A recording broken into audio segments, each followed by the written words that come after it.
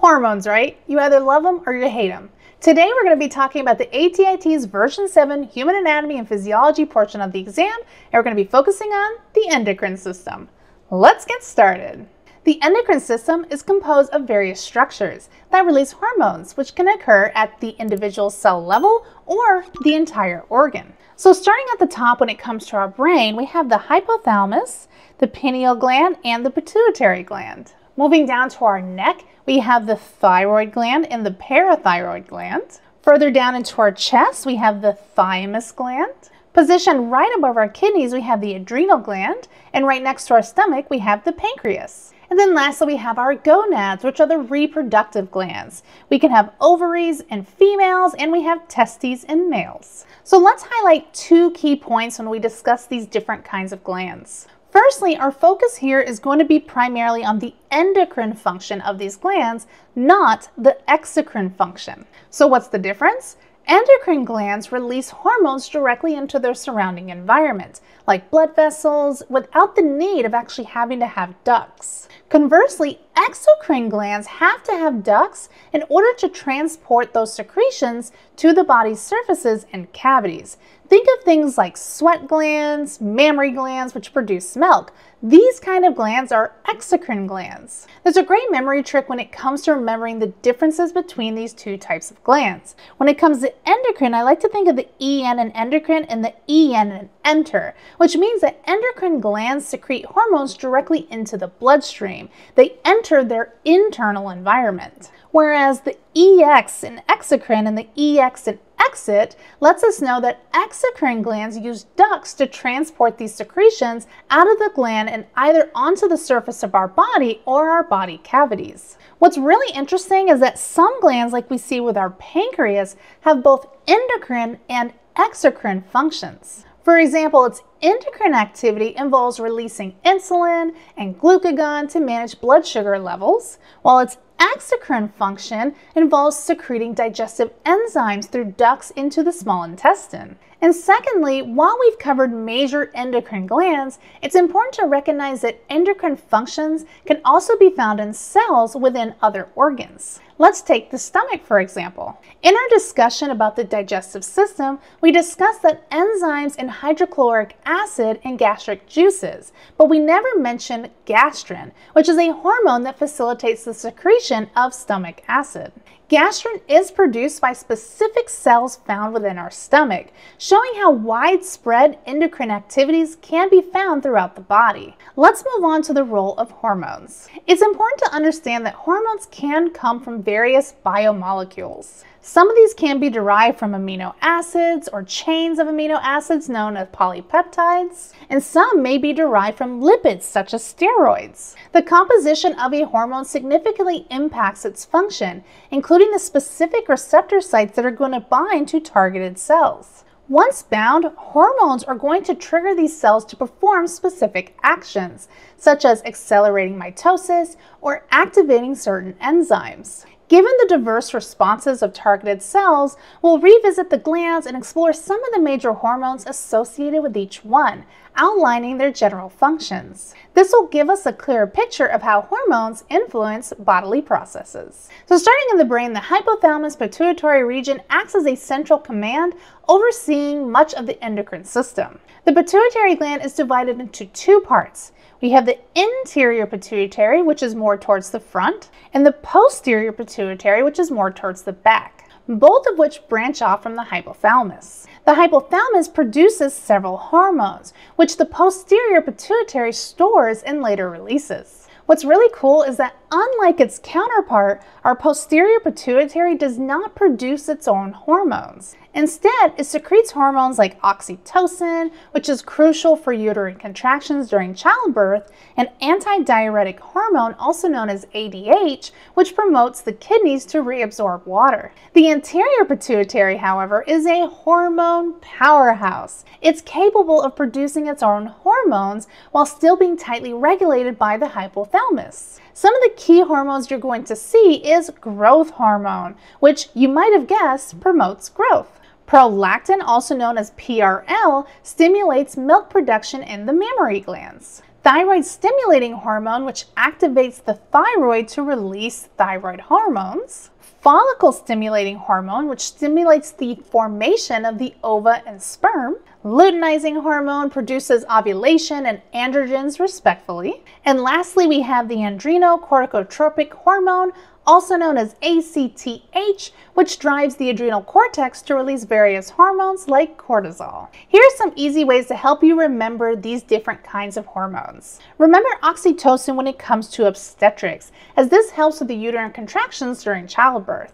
When you think of ADH, think of the D as you can't pee, since it helps the body retain water by preventing diuresis, also known as urination. When it comes to growth hormone, I like to think of GH standing for grow high as it focuses on promoting body growth. The PRL, when it comes to prolactin, stands for produce real lactation because it stimulates milk production. The TSH and thyroid stimulating hormone stands for thyroid secretion helper, as it stimulates the thyroid to release thyroid hormones. The FSH and follicle stimulating hormone stands for follicle selection hormone, since it stimulates the gonads to produce gametes. The LH and luteinizing hormone stands for luteal phase hormone because it plays a critical role in menstruation and ovulation. And then lastly, the ACTH stands for adrenal cortex triggering hormone because it stimulates the adrenal cortex to release various hormones.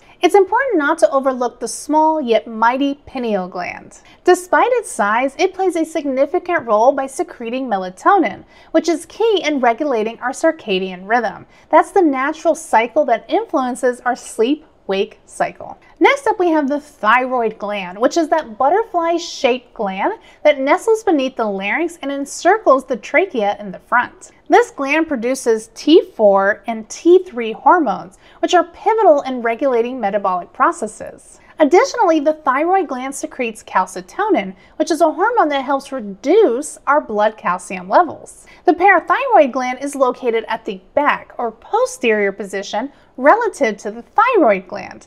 And this particular gland is going to secrete something known as parathyroid hormone, which plays a critical role in increasing our blood calcium levels. So why is calcium so important? Calcium plays a vital role in nerve transmission and muscle function, including the proper functioning of the heart muscle. It's also essential when it comes to blood clotting processes and helps regulate enzyme activity and hormone secretion. There are some easy ways to remember the functions of T4, T3, calcitonin, and parathyroid hormone. I like to think of the T and T4 and T3 as standing for thyroid, and the numbers 4 and 3 indicate the number of iodine molecules each contains. Both of these hormones are crucial for turning up the body's metabolic rate, like turning up the heat to make things go faster. When it comes to calcitonin, I like to remember it as calcitone it down because it helps lower the levels of calcium that are found in our blood when they're too high. And with parathyroid hormone, you can think of it as parathyroid pushes it up, meaning that it's going to increase those calcium levels in our blood when we don't have enough. So next, let's focus on our thymus gland. What's interesting is that some endocrine diagrams might leave out the thymus, possibly because it diminishes in size as a person matures into adulthood. However, as a gland, the thymus produces hormones that influence immune function, also known as thymosin. Thymosin is particularly important because it stimulates the production of our T cells, which are key players in the immune response. An easy way to remember thymosin is must stimulate immunity. This mnemonic helps link thymosin in its crucial role when it comes to our immune system. Next up, let's examine the adrenal glands, which are situated right here above our kidney. These glands are comprised of two distinct parts. We have the adrenal medulla and the adrenal cortex. The adrenal medulla secretes two things. It secretes epinephrine and norepinephrine, which are hormones that are crucial for initiating the fight or flight response that we see in our body during stress. Epinephrine primarily influences the heart, while norepinephrine works primarily on our blood vessels. I like to remember this with a mnemonic epi no rush, meaning that epi stands for epinephrine, no stands for norepinephrine, as it's essential for it to rush or burst out of energy needed for that fight or flight response. Moving on to the adrenal cortex, it produces something known as glucocorticosteroids, with cortisol being its primary example. Cortisol helps increase blood glucose levels and plays significant roles in managing stress and reducing inflammation. Additionally, the adrenal cortex secretes mineral corticosteroids such as aldosterone, which is essential for balancing electrolytes in the body. Aldosterone, for example, helps regulate sodium reabsorption and potassium excretion in the nephrons of the kidney. Some tips and ways that I like to remember these is that cortisol controls stress because it helps manage stress and inflammation. And for aldosterone, I like to think of Aldo stores Na, where the Aldo stands for aldosterone because it stores sodium, which is our Na, inside of our body. Next up, the pancreas plays a crucial role in managing the body's glucose levels. After we eat, glucose, which is a type of sugar, enters our bloodstream. Insulin, which is a hormone produced by our pancreas, is going to signal the body's cells to absorb the glucose. Without insulin, cells cannot access glucose they need for energy, which is why many individuals with diabetes may need to take insulin injections if their pancreas isn't functioning appropriately. Additionally, the pancreas produces glucagon, another important hormone that helps increase blood glucose levels by promoting the liver to convert its stored glycogen into glucose, ensuring that the body maintains a balanced energy supply. With insulin, think insulin puts sugar in. Insulin is key when it comes to letting glucose enter the cells. This mnemonic emphasizes that insulin's primary role to lower blood sugar levels by facilitating glucose entry into the cells. And with glucagon, I want you to think of glucagon raises glucose. Remember, glucagon is the hormone that gets glucose going by raising blood sugar levels. And of course, as we know, it does this by signaling the liver to release glucose into the bloodstream. And then lastly, we're going to discuss our gonads. That is our ovaries and our testes. The ovaries produce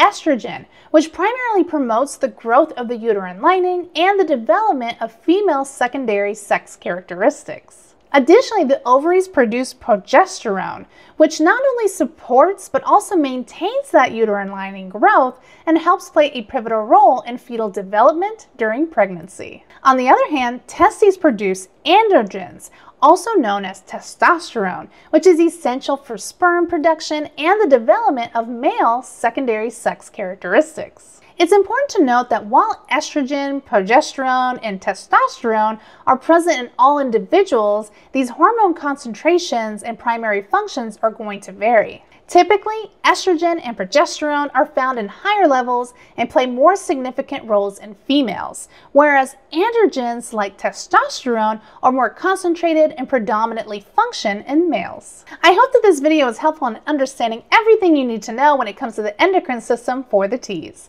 As always, if you have any questions, make sure that you leave them down below. I love answering your questions. Head over to nursecheungstore.com where there is a ton of additional resources in order to help you ace those ATI TEAS exams. And as always, I'm going to catch you in the next video. Bye!